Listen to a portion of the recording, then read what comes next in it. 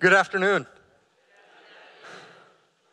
Okay, I'm, I'm supposed to be in front of 30 chemistry students right now teaching, and they can do a better job than that. And there's like 400 of you, so I'll try again. Good afternoon. Afternoon. Oh, that's good. Thank you. I am absolutely honored to be here with all these amazing educators that have been speaking and in the audience. And I do find a hint of irony in it because I was never meant to be a teacher. At least in my mind, I was never supposed to be a teacher. My first five years of college, I bounced around from degree program to degree program. I was going to be an engineer, and then I was going to be a biologist, and then I was going to be a wildlife biologist, and who knows what else I thought I was going to be. The trouble was, I couldn't really see myself in those positions. I couldn't see what I was going to do with my life once I got that degree. All of that changed when I enrolled in a chemistry, I'm sorry, in a physics class. And from day one, this man got up front and he smiled the entire time he taught. He bounced around the room. He had an absolute blast teaching. And I sat there just completely enamored with his teaching that I forgot to write down anything that he was teaching about. So it turns out I got to take his class again the next year. and believe it or not, I'm glad I did. Because again, I was so enamored with how he was teaching, I began to realize wait a minute maybe there's a profession out there for me. Maybe I could do something where I get to have fun every day. And so I started taking more education classes, or I started taking them and more and more. And pretty soon, three years after that, I graduated. Now, if you're a math teacher, you know that's eight years to become a public school teacher, which is not the norm. Um, but I made it, and I sure am glad that I did. Now, there were a lot of things that this professor did in his class that really, really stuck in my mind. And most of it was his delivery. And one of those days, one of the real big things that just still is burned into my memory was the day that he came out with a bed of nails. So mine's got 540 sharpened nails on it. And he said, I'm going to lay on this bed of nails and teach you about physics. Remember, I missed the rest of it because I was just enamored with his teaching and I forgot to write things down. And he said, My assistant is going to come out. Welcome, my assistant. This, my assistant is far more beautiful than his. This is my wife, Christy Beals. and she has got an eight pound sledgehammer. So we can talk about my stupidity later because I think you're about to see what's going to happen. And he laid down on the bed of nails. I want to put these on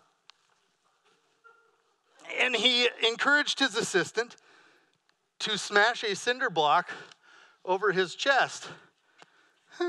okay. There we go. Okay. Okay. Oh. And uh, just to model, because that's what we do in teaching, right? We model.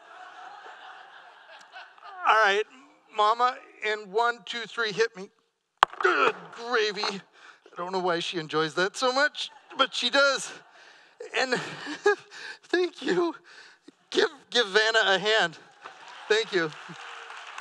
But the thing was, it wasn't actually the act of being crushed that stuck into my brain. What did was that when he got up off of the bed of, the nail, bed of nails and went to put his coat back on, he briefly turned around for just a split second. and then he went on teaching physics.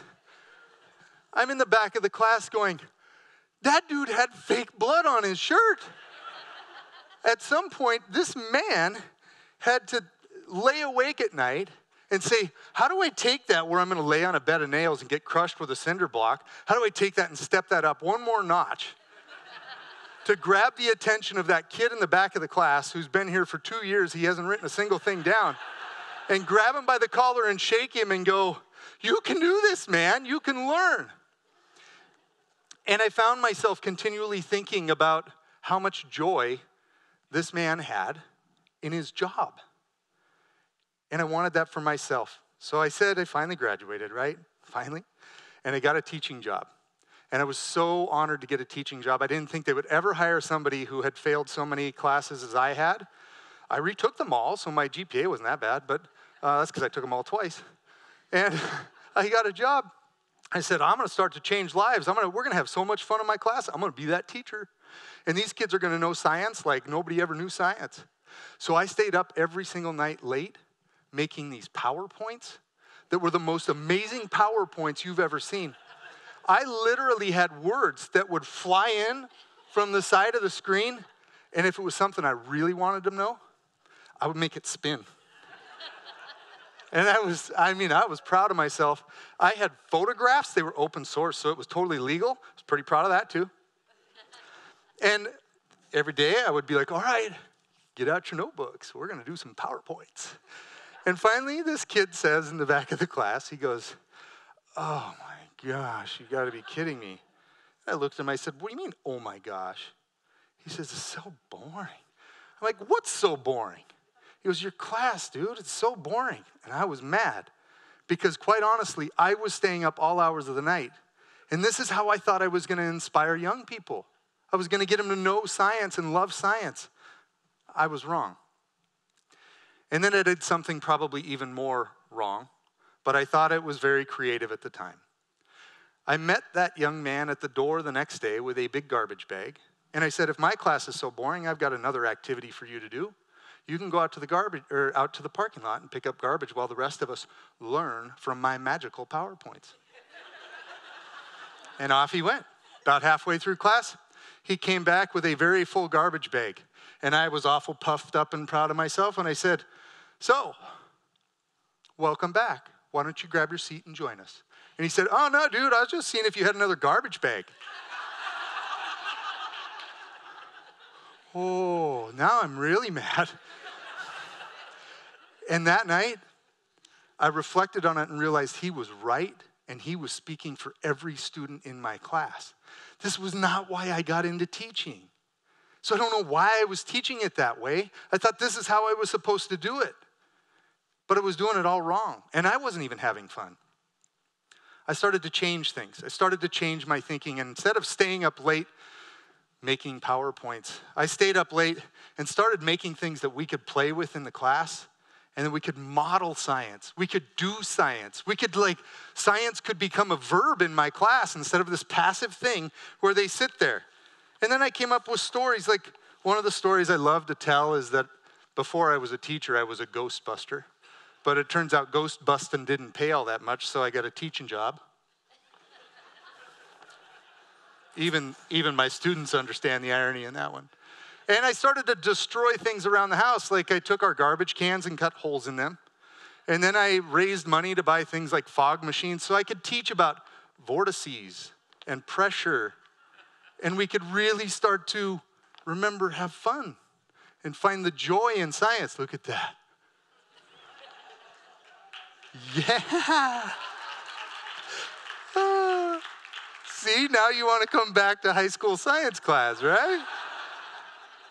And it's just the tip of the iceberg. Because I don't want the alarm to go off, I'm going to stop now. I'm actually quite famous for that in my school. But that's a whole other talk. and when I first started teaching, and I was PowerPointing away like a crazy person, I refused to go to the local fast food joints in our small town because I knew every kid that was working there, and I knew that they would spit in my burger. How did I know that? Because if I was a teenager working at a fast food joint and I would have shown up, I would have spit in my burger.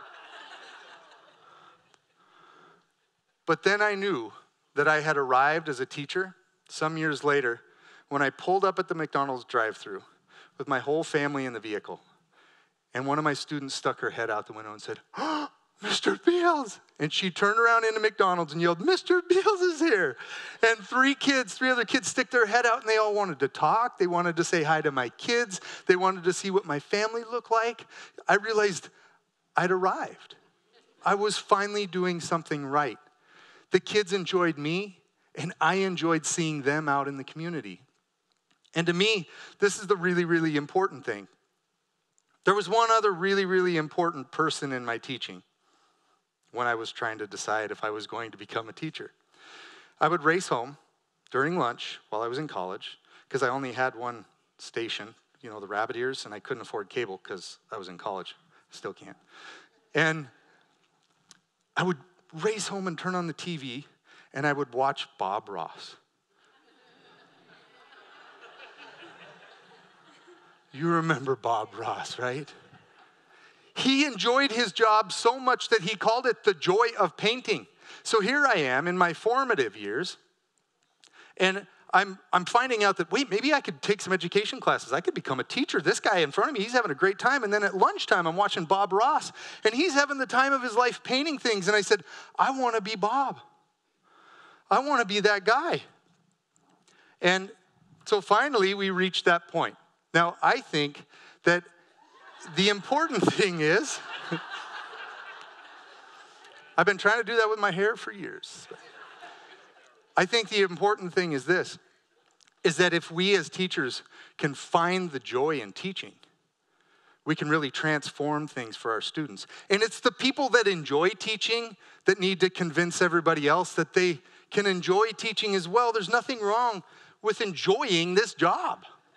It's the hardest job you'll ever do. I get that, which is why we need to have a little bit of fun sometimes. And if we're gonna spread the joy, maybe we should spread it like toilet paper all across this crowd. This is me spreading joy, people.